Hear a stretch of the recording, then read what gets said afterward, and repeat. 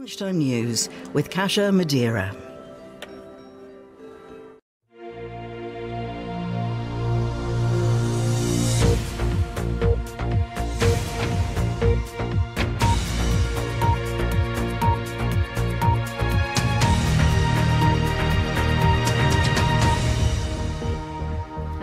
Afternoon.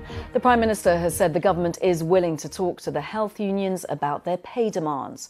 Rishi Sunak said the government was happy to discuss. Hello and a warm welcome to our viewers on PBS in America and around the globe. And I'm Kasia Madera in London. and Enrico, let's keep the cooking. Just to bring Christmas. you some breaking news from the UK. The British Prime Minister Boris Johnson has been admitted to intensive care with those persistent symptoms of 1856. This is a statistic that just uh, staggers me. The situation wasn't resolved until the 133rd ballot. Are we in for a really long run here, or will the Republicans, do they have to get themselves sorted out? Hello, and a very warm welcome to World News Today. On Saturday, the shutdown of large parts of the US government will become the longest in now American Let's cross over to Washington to talk to Tara Setmayer, a political commentator. Also, Tara, you're a former Republican congressional aide. Just put this into context for us. The midterms on the 8th, just a few days away. What One or two weeks is actually quite a long time. Poland has the capabilities, has the spare parts, has the ability. from ability. NATO, a fundamental reset. Matthew, absolutely. This was being described as a transformative summit. Do stay with us here on BBC News. Still to come.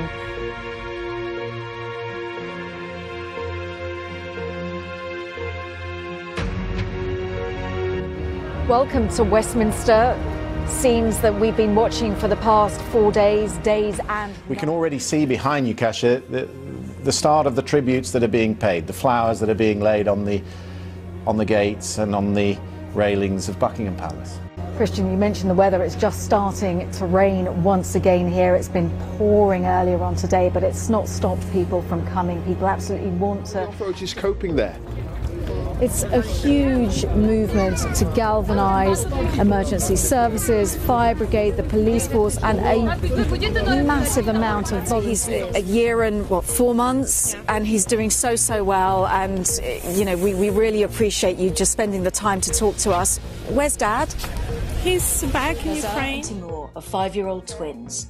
With their mum Olena, they have paid a very heavy price for the fighting in Ukraine. Olena, Nazar, and Timur's sight have been saved.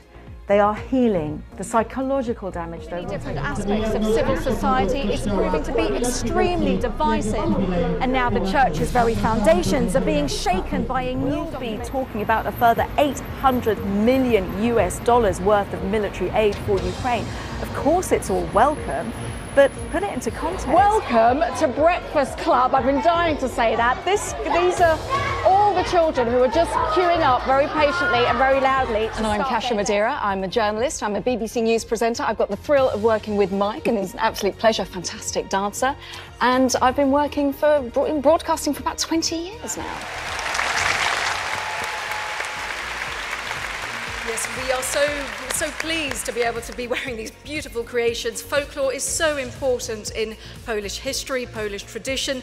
Mazury will be showing us some of the best of Polish folk dance. Wielkiej Brytanii, ale wspaniale mówi po polsku. Piotrze, dziękuję strasznie. To jest wielki zaszczyt, że tutaj jestem. These guys here are forensically verifying, they're cross-referencing times, details, all the kind of stuff that you'd see on social media that needs to be checked. Don't forget you can get in touch with me via social media at Kasia Madera on Twitter. It would be lovely to hear from you. Bye bye.